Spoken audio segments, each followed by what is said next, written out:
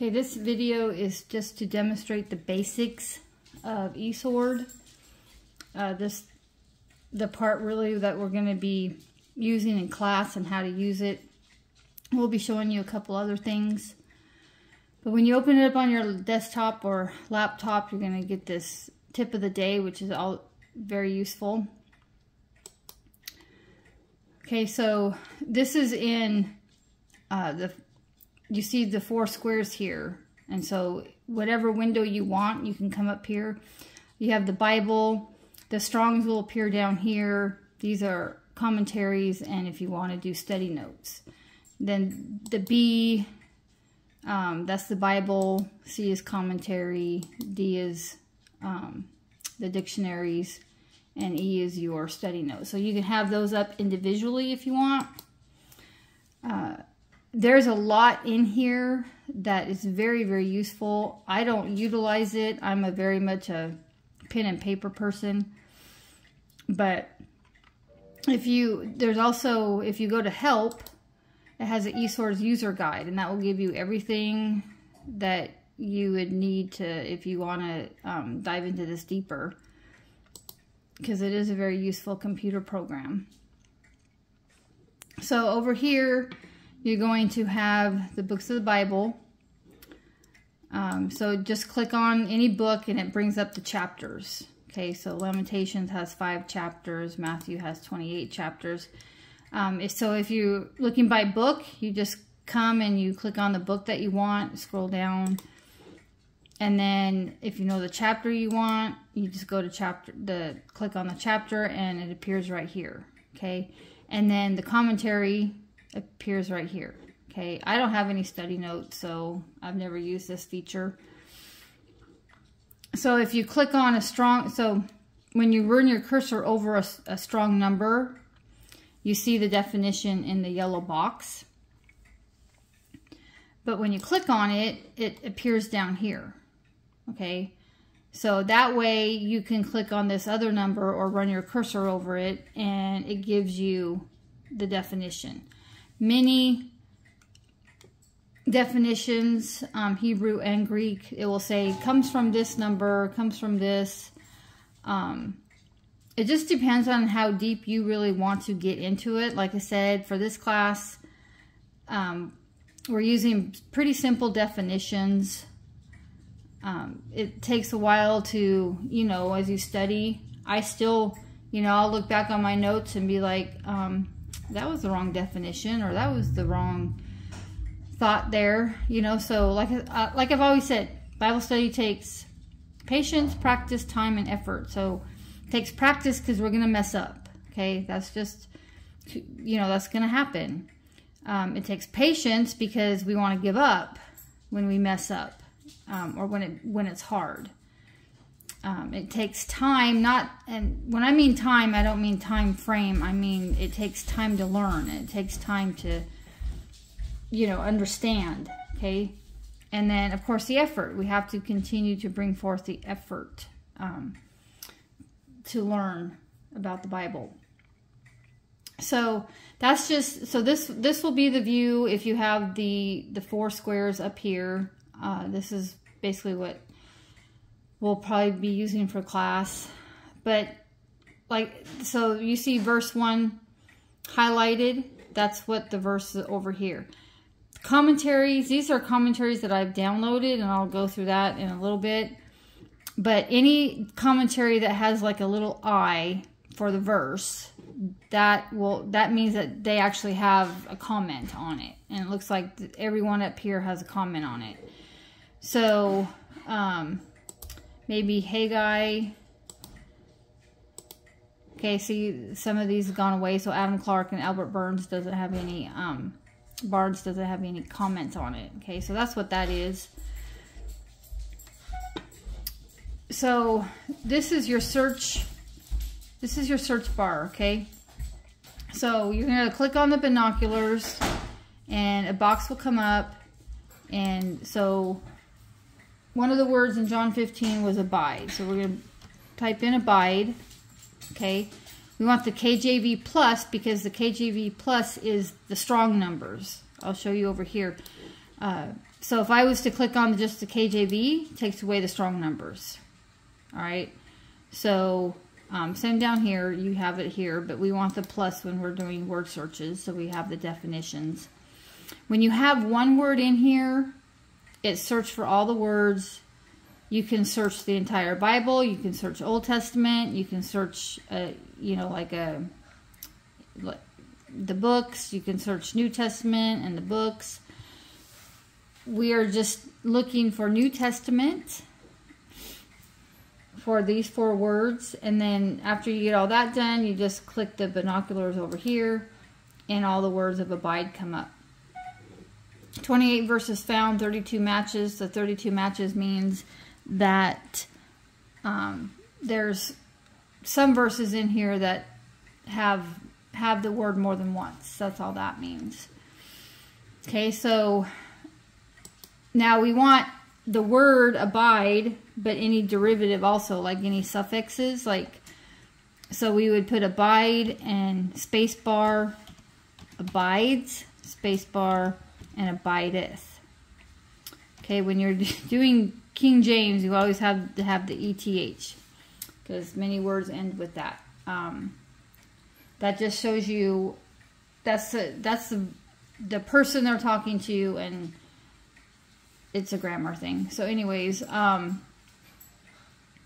so you see that you can type in more than one word, but when you do that, you have to come over here and bring this down and say search for any of the words. Okay? So, and then you always have to, if you're doing a new search, you always have to hit the binoculars. So we see that if we add these three words, these two words, now we have 45 verses and 52 matches. Okay, so if, um, if you don't bring this to any of any of the words when there's more than one word, no search will come up. Okay, so just to let you know that.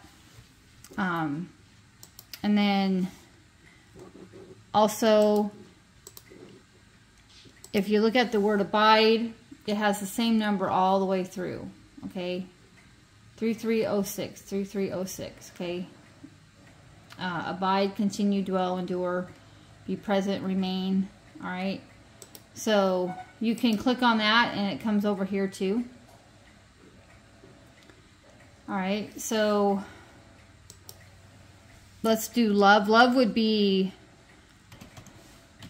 love space loves loved and loveth.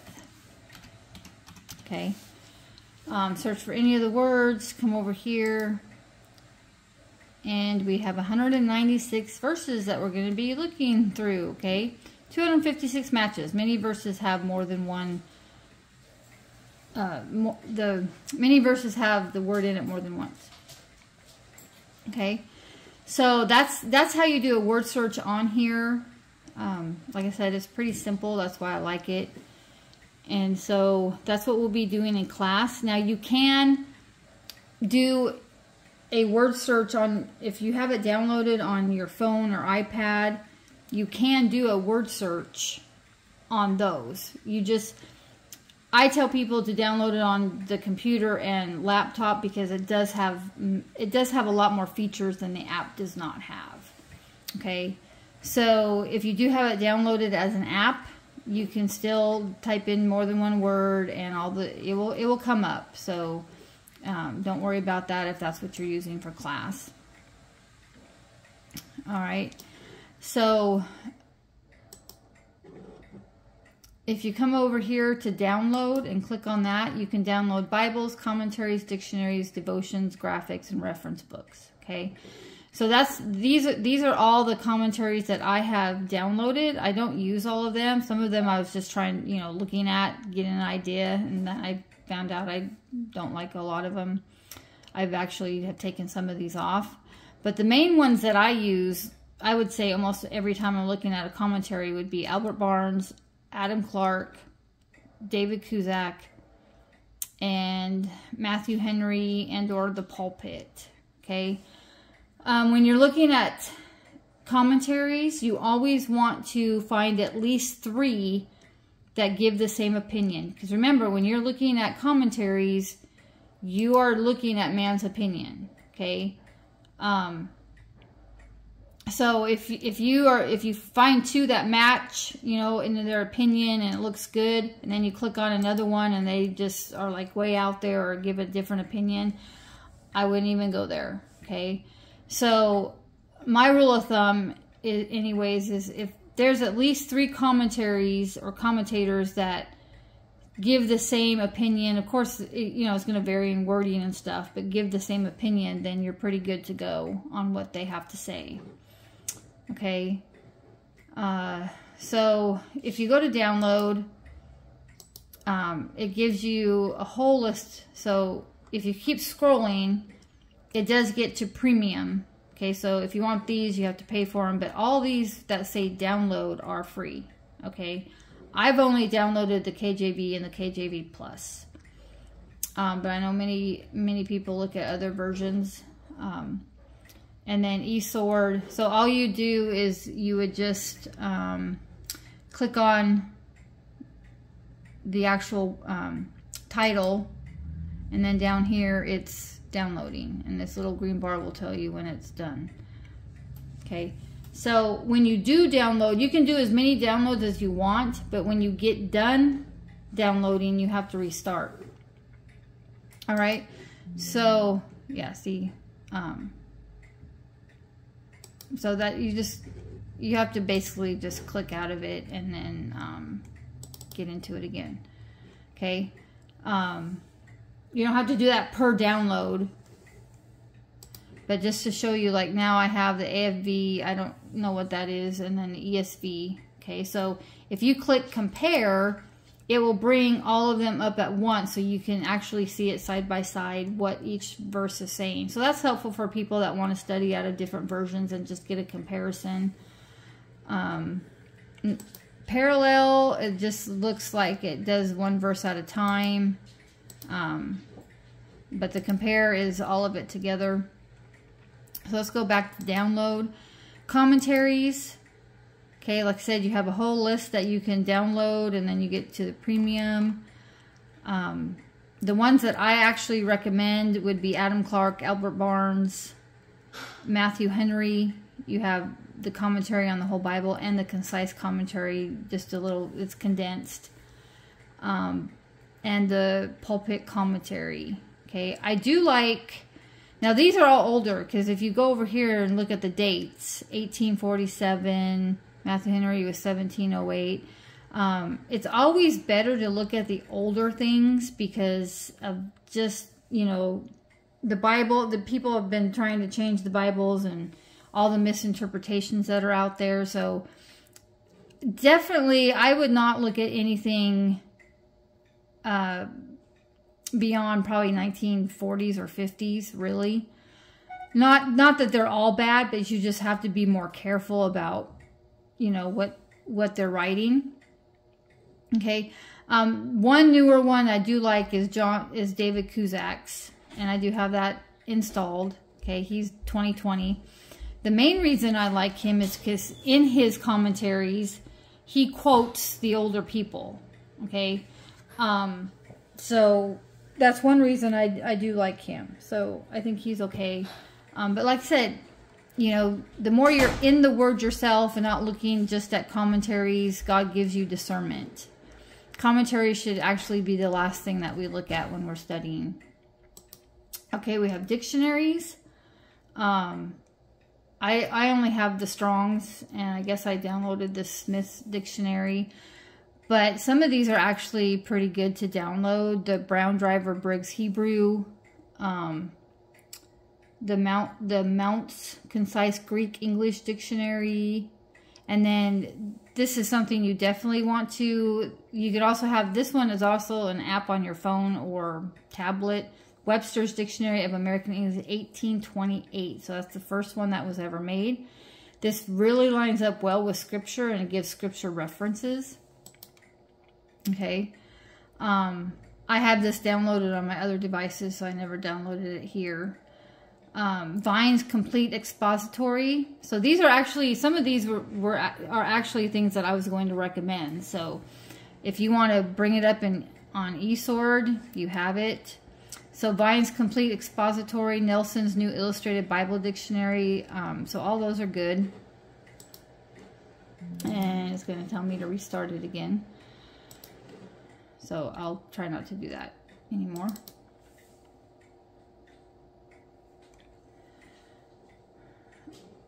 All right, so um, that was commentaries, dictionaries. It has devotions. Um, okay, I just have a Charles Spurgeon devotion downloaded, but it has all these other ones. Here's the date that they were published. It has graphics. Um, we will be looking at some graphics. Um, you ladies can take a look at these. I don't think the picture in them is too great, but um, if, if this is all you have, then, you know, that's fine too. And then reference books. Many, many reference books. Download for free. Purchase. Okay, again, look at the, you know, we, we are tending to look at more of the modern day writers. Um, I actually would stay away from a lot of the modern day, day writers. Um, of course, people that wrote back then, you know, it's not harder English, but it's, you know, it's just the way they wrote things was, you know, in, in our day and age, it's kind of harder to understand or to keep focus. But ladies, if you can, um, just ask the Lord to help you. And if you read some of these books, it's going to really help. So Andrew Murray, anything by Andrew Murray is good. Um, F.B. Meyer, Arthur Pink up here um, EM Bounds. Okay, so I'd go through there. Um, like I said, I have this downloaded on my laptop, so it's not downloaded on, on my desktop here, but a lot of these are downloaded. Um, and then, okay, those are for purchase. So you have a lot of, you have a lot of things that you can download and look at just, just in eSword. And all, and all that's free, okay?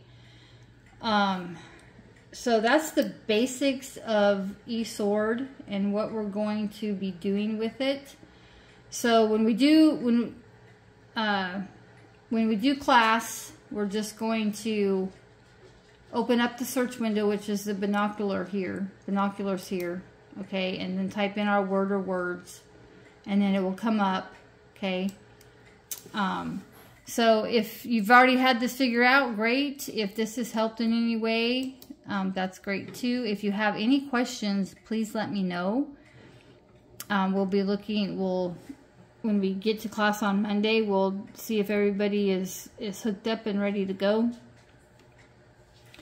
But I think that's all I need to show you, um, especially for class purposes. Like I said, class purposes, it's just going to be the search uh, for the most part. Uh, but this is for anything else you want to study, this is a very useful tool. So with that, I will close this out and I will see you ladies soon and I'll um, put this on Discord.